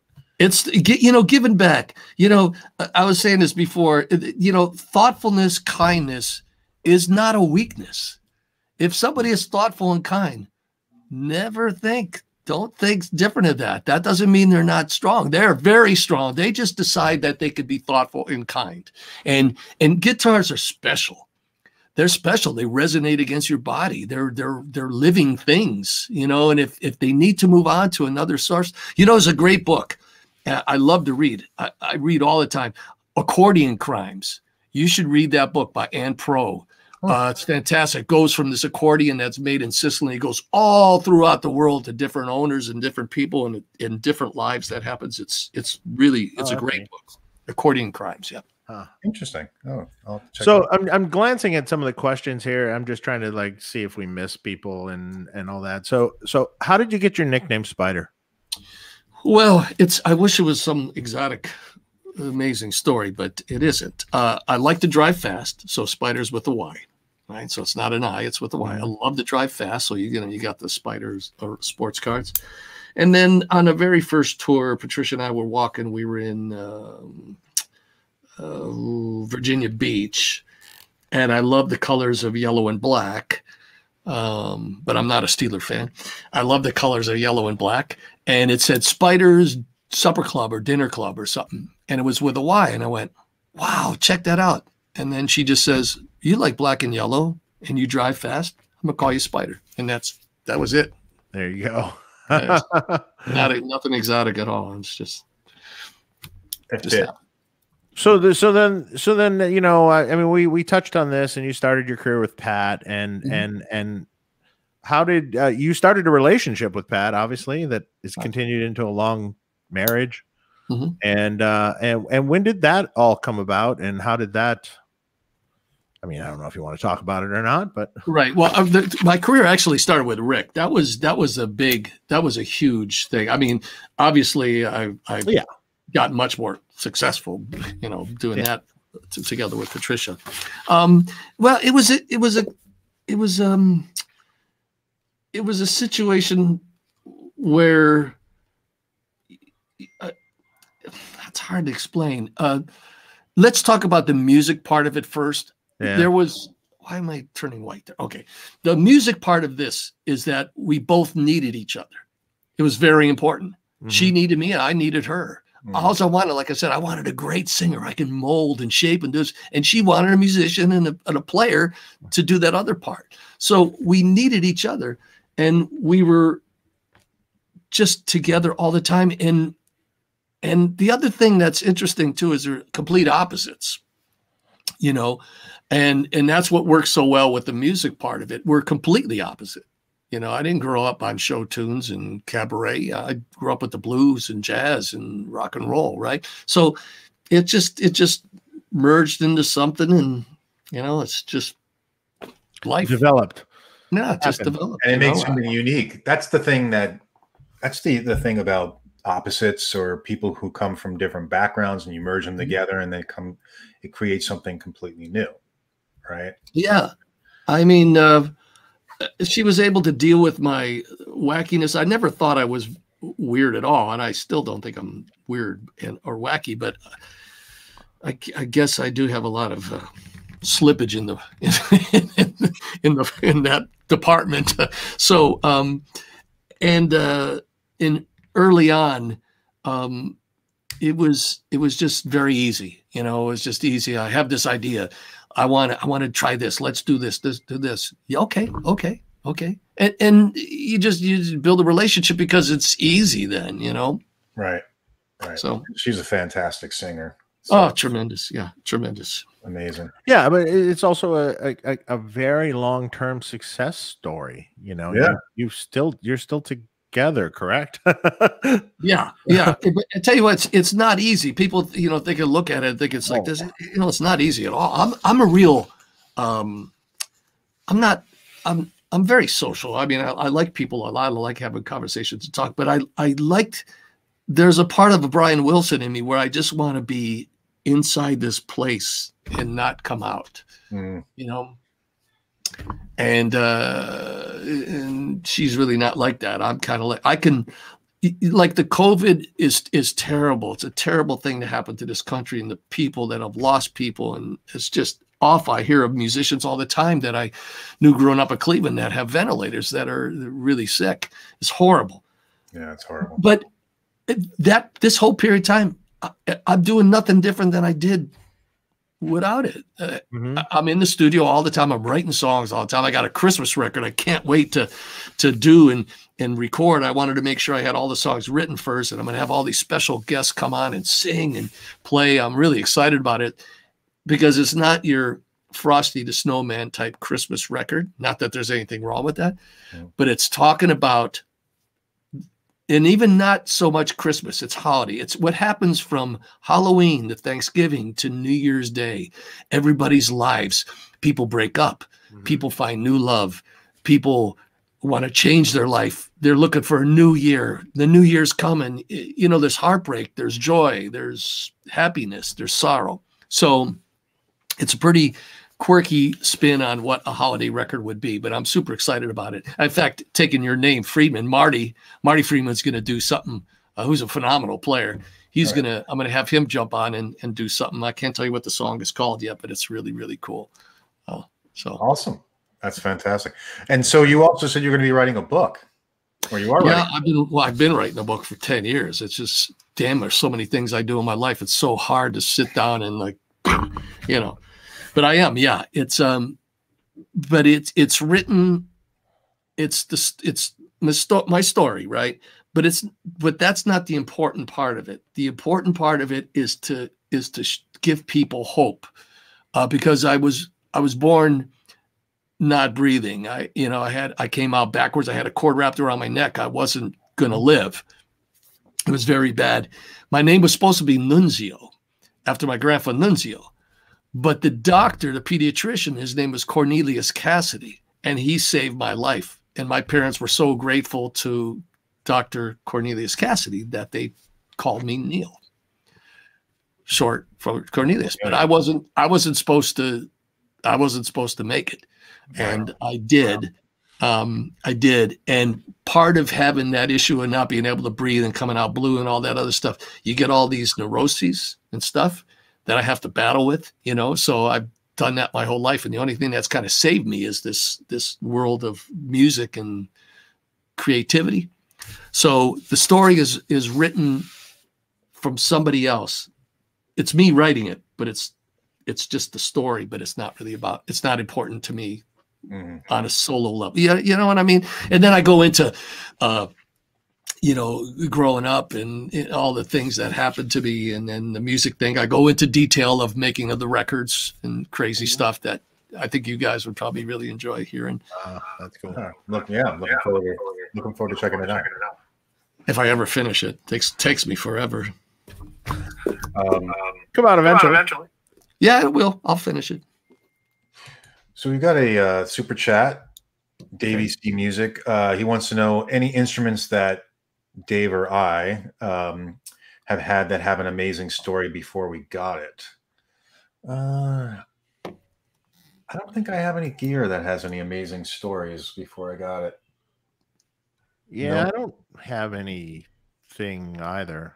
Not really. I got one. I have old stuff that I don't know what the story was before I got it. What's yours, Neil? Well, I found his Norm's guitars. He had the Strat. It was phenomenal Strat, right? So had a real fat neck on it. And I was, oh, it was really cool. So I bought it, and I'm playing, and I'm on the road, and everything's cool. And all of a sudden, I get a call, and he says, you know, the guitar was stolen, and they want it back. And I says, oh no, no, no way! I love this guitar. And I got a great picture of it of me playing it, and it's up here like this. It's tremendous. It's old, old picture. I says, "Oh no, who do I have to give it back to? This is horrible." It was Brian Wilson's. Leo Leo Fender gave it to him. Wow, is it like a serial great story? Six, ridiculous. So so he sent his road manager to come and get it, and he goes, "I want it right now." I says, "I can't give it to you until I'm done with the gig. You're gonna have to wait." I made sure I played the whole gig, and then I handed it to him. That's great. Wow. And then I called Norman. I said, "Norman, what the hell you doing?" So Give me my money back yeah, he, he ended up giving me all kinds of stuff. He, I think I got more than one strap from him. I got a ah, couple. Uh, there you go. Yeah, he felt terrible. That's a great story. Wow, that that, that that that is a fantastic story. So I love that. Crazy. Yeah, the, the only good stories that I have about gear is stuff that I've gotten from Dave. So, so uh, he signed my guitar, he signed my amp. I'm all happy about that stuff. So, um, let's see. Uh, we've got a question from James Gretsch. Neil, ever do any work for Bowie? I know you were his side, uh, never his sideman like Earl Slick, but have you ever done work for him, studio work for him? No, I didn't. I didn't. I wish I. I wish I would have. Yeah. I mean, he would have been. Uh, it would have been oh, fun great. to work with because he's a great admirer of of playing and players and rootsy stuff. And Earl's a great player. So, yeah, I didn't. Um, and of sort, of course, Mick Ronson too. Um, no, I had never had an opportunity. I wish I had. No. Okay, that's awesome. Um, one more super chat I see. Yeah, I like. I like. Oh, you have another one? Oh. Yeah, Deborah Baranowski. uh, Neil and Pat Benatar, best partnership in history. Thank you for the music and inspiration. Any plans of touring in the near future? And if so, is there a tour schedule? Uh, God, I, well, there's yeah, that's that's that's the COVID question of the moving target. Yeah, yeah. So uh, I don't know. Um, yeah, I can't answer that because I I know that they're they're you know they, our agent and everybody is is working at hopefully when the the world opens up again to be back out there, of course. Um, but as as of now, I can't tell you for sure when that would be. So, yeah, yeah. Well, hopefully, last quarter 2021 is my guess. Yeah, could be. Fingers crossed. Get yeah. these vaccines out. Everybody yeah, it will. It, I, I, have faith and hope that it, it's all going to work out. So every time anybody talks like, "Oh, it's going to be forever," eh, someday you're going to look back and probably forget that it even happened. Yeah. Well, no, I, I tell this to my my kids because it's hard for kids to comprehend. Like, is this mm-hmm. going to be like this forever? I said, no pandemic, no epidemic has ever lasted forever. The flu thing happened that happened in 1918. Correct. It lasted a few years. It was over the bubonic plague didn't last forever. you know, like polio, you know, right. all those. Yeah, yeah, Eventually it'll end. So yeah, just like 9 11. 9 11 happened. You thought it was the end of the world, and you know, it wasn't. So we'll get past it. We will get past it, and we will hear more Neil and Pat music soon, hopefully. Yeah. Um, mm-hmm. I want to be respectful of your time, Neil. Uh, are you, are you, you need to go after, well, if you have a couple we'll do a couple more questions if you if you want yeah, let's do two more or something and then okay um, they want to know when they can, where can they pre-order the book, or when the book's going to come out. Um, any plans? Well, that's, that's another question. Um, yeah, you'll know when it's able to pre-order. The best thing to do, uh, I don't have a date on any of that. Is is I have there's two Facebook pages. One is one I share with Patricia, and then there's another one that's I do myself. It's called the official Neil Giraldo, not like there's an unofficial one, but that's the official Neil Giraldo one. And that one, because I want to be respectful of uh, the questions and things I talk about on the joint page. So, so if there's any questions that anybody has about, uh, you know, music and details and things that I post on there, that's the place you can find out more stuff for me is that one, the unofficial Neil Giraldo Facebook page. Um, but I'm hoping, I'm hoping to have it finished by the beginning of next year. I think. I hope that's, yeah. Okay, that'd be great. No, I'm sorry. What month are we in? January. Yeah, yeah, the beginning of next year. Like this time, hopefully, I'd like to get around the holidays. That would be good. But uh, let's see what happens. Well, now you said it, so you have to do it now. I have to do it. I, gotta, I have it. You got to get it done. Have it kind of written, but but what it is is you when you write like a book, which I, you know I'm an avid reader and I love great authors. I love William Faulkner, Victor Hugo. I mean, these people I love, and I'm really critical of what I write. Mm-hmm. So it's really difficult. I may think, oh, I like that. I'm writing, writing, writing, and then I look at it the next day and go, ugh it's not so good. You're a perfectionist. then I freak out and then I throw it away and I start again. Uh, um, is hard, this is why it's hard to get it done. Right. Exactly. hard, yeah. Uh, so I know I heard this story clearly in the uh, Sunset Sound movie that Dave Grohl did, but he wants to know about uh, Cecil Music. Can you ask Neil about recording Jessie's Girl with Rick's dog sitting in front of him? Right. Yeah. Rick's dog came right up to me. Yeah. Well, it's, you know, I love what, what that dog taught me was uh, I really love pit bulls and I didn't have a pit bull. He, it was a pit bull terrier. And uh, after talking to Rick and, you know, hanging with the dog, I ended up getting a, a pit bull. I named him Fearless and he was one of the greatest dogs in the world. He's so sweet and kind, and everything. Unless somebody would come up to my daughter or anything, then he'd let them know yeah, what's going on. Yeah. But yeah, he would just bring the dog, and he'd throw basketballs, and the dog would crunch the basketball, and you know, as pit bulls and, do. And then Rick was in a little ISO booth in Sound City, so he was way in the back in this little ISO booth singing the track, and then I was there with Mike Baird, him and I, and the dog was loose in the control room, and I, I mean in the studio, and just walked right up and put his nose right in my crotch when I'm playing the, the song, and I couldn't move. I'm thinking, what? This is bad. This could be. this could be really bad. could be bad. yeah, it was. It was. it was a very funny funny moment, and he, of course, Rick was laughing because he could do that. and Mike Baird was laughing too. He couldn't get him because he's behind the kit. You know, he's got he's got stuff around him. I was right, right. He's protected. I was on my own. yeah. Uh, Chris, we'll make this the uh, uh, last. Oh, I do have one other question for you, Dave, before we go. Christopher J. Williamson. Hey, uh, Neil, biggest thing I've gotten from your playing through the years is your passion and the way you really go after it when playing. Well, thank you, Christopher. Yeah, I I don't uh, I I call it Jerry Lee Lewis blood because um, when there's a moment, you you have to stand up and be in that moment. You know, I I never never never ever ever went on stage ever and dumb down the audience. I don't do it with records I make. I don't do it with songs I write. I never dumb anyone down. I'm there when I'm there you're getting it. I've played with broken hands on stage. I've played when I was sick. I've played with staph infections. I've done uh, so many crazy things on stage. When I'm there, I'm there. And when I'm in the studio, I'm in the studio. I'm not, you know, that's just the way I am. My father taught me that way. You know, he's like that. And uh, he's 94 years old and he's crazy as hell. Oh, and uh, that's awesome. Good for yeah. him he always taught me to, to you know be there. People are paying money. They, they you know you give them the best you can whatever you do every night. I would listen i used to torture the band after every gig. I would listen make them listen to the performance and say you're speeding up here. You're slowing down. You're out of tune. You're playing the wrong part. I mean it, it was crazy. In a nice way. I wasn't i wasn't a prick about it but i but i was assertive. Right. Well you're perfect, i can tell you're a perfectionist. You want yeah. things the right way. I do. I do. So, um, okay. so make sure you you guys check out Neil and uh, Pat on Facebook. Um, or if it's just Neil, questions for Neil. It's yeah. his own official yeah, Neil Giraldo. The, the yep. official, the official Neil Giraldo. Perfect. And um, the other question, the last question I had for you, Dave, was a question that came to me through Facebook from Scott Rager. He wants to know um, if no. you're okay.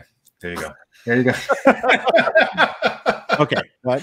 Sorry. There's a Marshall Origin series. Thoughts on quality, tones, and any plans to use a similar power scaling feature with Friedman? Thanks, man. Never. Uh, it, it's it's okay. It's not great, and I don't really see the point of using the power scaling feature. We already have a great master volume, so I don't see the point. And uh, that's it. I, I have a question from Neil Giraldo to David. when, when is he going to build a 212 combo, especially to the specs for Neil Giraldo? That would be really great. I could do that. Okay, it's on film. It's recorded. I Mark, do that. You're the witness. I, I, will save the clip and send it to you both. I can, I can definitely do that. Yeah, because your amps are great. I mean, they're you got, you got to get me one of your combos, and then I can kind of like snoop around and then uh, come up with an idea for you. Sounds perfect. Let's do it. Yeah, it's pretty far away from each other, right? No, we're in no. LA. Yeah, we're close, really close. Yeah. So, where are you? Where are you at? Round? I'm in. Uh, right now, I'm in Calabasas. Oh, okay, yeah, not far. Easy. Yeah, perfect. Well, make make it happen. I want to see that happen. Yeah, um, we got to make it happen. Guys, check out Sweet. Feel free to send some liquor. I'll get you some. I'll get you some. This is whiskey drummer. We'll, we'll promote it on the show. Okay, yeah. this is phenomenal. This here is a 15 year old Kentucky. Look at oh, that. that looks good. Okay. Yeah. Oh man, this, this is spectacular. I'll get you. Uh, I'll get you. Do you like rye or or bourbon? Both. Both. Okay. I'll get you. Uh, I'll get you well, one of each. Like I'm not kidding. We'll actually promote it on the show. Yeah, okay, we're drinking. okay, good. Uh, then you're getting it for sure. I'll get you the reserve, which was a 94 rating, and I have a oh, blend. Great which was uh, 89 or 90. Then I have a sensational rye. I have a I have a bourbon and a Pinot barrels. That's has a phenomenal story to that, but I we're we're we can't go into it now. But what else do I have? I kind of think I have a bourbon that we're putting in cognac barrels now and all kinds of oh. stuff. Oh man, yeah, great awesome. stuff. Yeah, get, make sure you guys check it out as well. Check out yeah, yeah. three chord bourbon. three chords bourbon, three chord bourbon, three chord bourbon, three chord bourbon. I like, that. yeah. I like the name too. Three chord bourbon. I, that's that's cool. The truth. It's the, the truth. Three chords and the truth. Exactly. Yeah, there you go. perfect. Perfect marketing campaign. Yeah, yeah exactly. Uh, check out Sweetwater. Uh, they are our sponsor for the show, and uh, we get a little kickback uh, commission if you guys purchase anything from them. They are a great sponsor. You can buy all kinds of stuff from them. So uh, check yeah, it great out. Company. Yep. Great company. And uh, everybody, uh, let me just tell you when our next show is going to be, and then I'll let Neil go. Um, this is how I find out when the next show is going to be. I understand that. uh, Richard Fortus is with us on January 29th at 9 p.m. And uh, and then from there is uh, Dan from that pedal show and his gig rig product. Uh, will be February 13th. That's a Saturday, I believe. So, uh, so cool. Everybody have a great, great rest of the week. Enjoy the weekend. Neil, just hang on while we hang up, and uh, we'll right. say our goodbyes. Take All care, right. everybody. Yeah. Ciao.